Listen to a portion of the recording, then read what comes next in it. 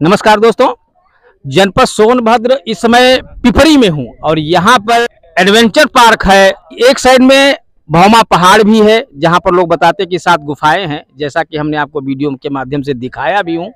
और यहाँ पर जो व्यवस्थाएँ की गई हैं नाव की और बच्चों के घूमने की, यहाँ पर जल क्रीड़ा और यहाँ पर नाव का जो संचालन किया जाता है, उसके बारे में भी बताऊँगा।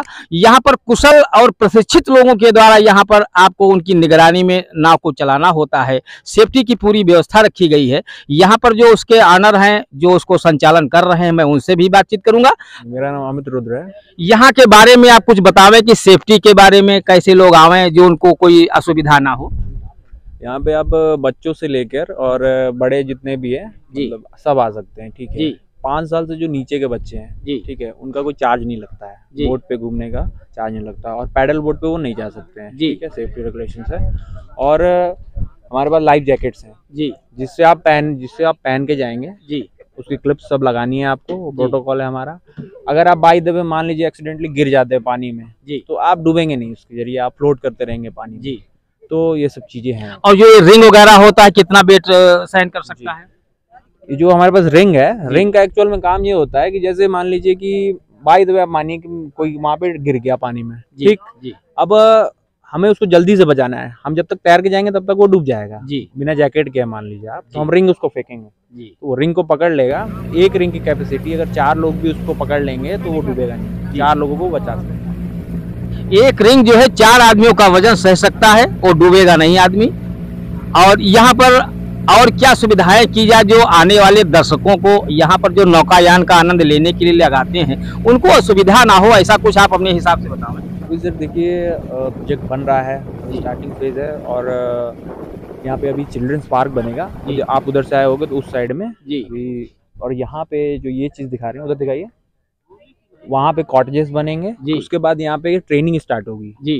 जो यहाँ के लोकल लोग हैं उनको ट्रेनिंग दी जाएगी जी। कि पानी में आप सरवाइव कैसे कर सकते हैं जनरल। टैक्टिक्स हल्की हल्की दी जाएगी कि जिसकी वजह से लोगों में अवेयरनेस होगी जी। जीव जंतुओं के बारे में भी हम लोग बताएँगे जी तो ये सब चीज़ें अभी हम लोग सोच रहे हैं अभी धीरे धीरे होगा टाइम लगेगा लेकिन कर रहे हैं देखिए यहाँ की सुंदरता को बढ़ाने के लिए यहाँ पर वृक्षारोपण भी किया गया है जैसा कि मैं देख दिखाना चाहूँगा और यहाँ पर चेयर्स वगैरह भी और ये सीटें भी लगा दी गई है जो कि यहाँ पर जो लोग आते हैं उनको सुगमता रहेगी बैठने की। काफ़ी दूर दूर से यहाँ पर नौकायान का आनंद लेने के लिए लोग आते हैं जनपद के सभी शहरों से। इस जलाशय का और यहाँ पर जो सुविधाएँ हैं उसका आनंद उठाने के लिए आते हैं। क्या नाम है आपका? विवेक पांडे। जी। क्या कहना चाहेंगे यहाँ की जो सुंदरता है यहाँ की जो व्यवस्था है इसके बारे में आप क्या कहना चाहेंगे? यहाँ सुंदरता जो है पूरी यूपी में कहीं नहीं है। जी।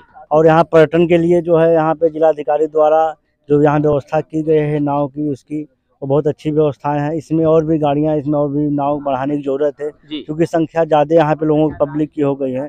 पब्लिक लाइन लगाई हुई है तो जिससे कि पर्यटन की सुविधा भी बढ़ेगी और हमारे यहाँ राजस्व भी बढ़ेगा। मेरा यही कहना है कि इसमें अधिक से अधिक और भी गवर्नमेंट पैसा लगा कर कि इसको बढ़ावा दे। जी।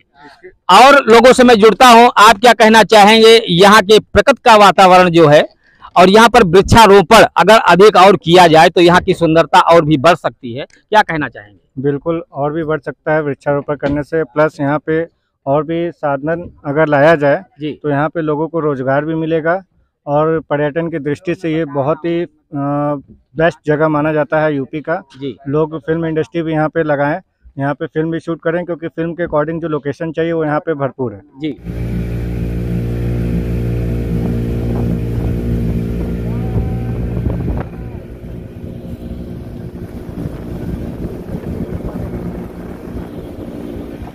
उधर से बना लीजिए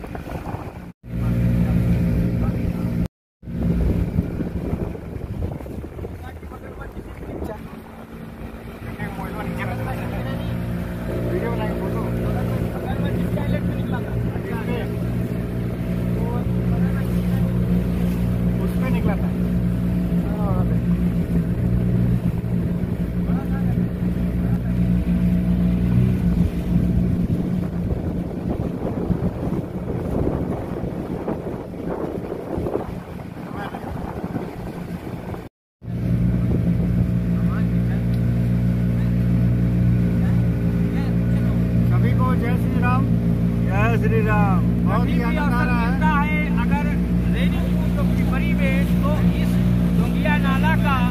बहुत नज़ारा ज़रूर देखें बहुत ही अच्छा मनोरम दृश्य यहाँ का है भौमा पहाड़ और ये नौकायान का आनंद आप ज़रूर लें सभी लोगों से निवेदन है सभी लोगों से आग्रह है नहीं बोल रहे हैं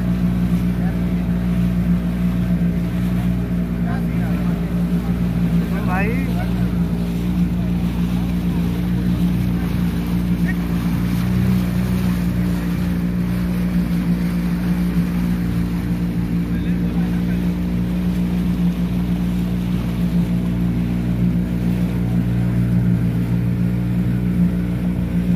आप ऊपर बिल्कुल साफ़ कर जा करके वीडियो बनाया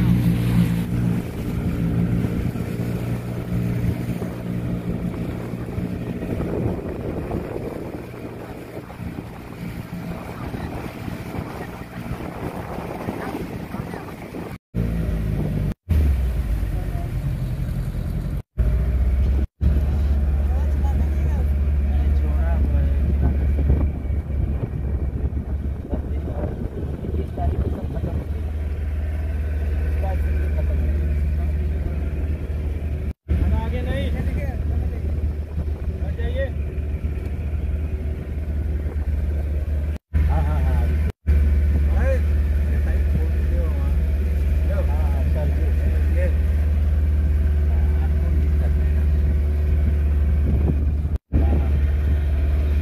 अरे रे अभी अरे डिसबैलेंस मत करिए।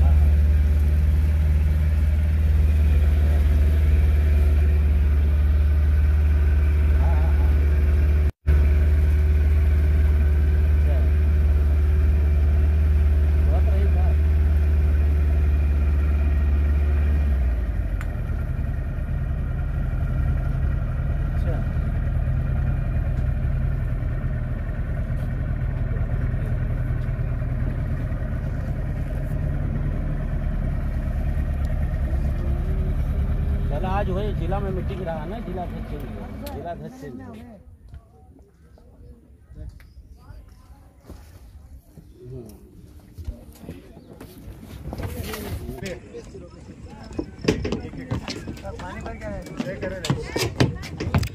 कैसी यात्रा रही आपकी नाव की? बहुत सुखद यात्रा रही। जी यहाँ का जो वातावरण है और यहाँ का नौकायान का आनंद लेने के लिए काफ़ी दूर दूर से आते हैं।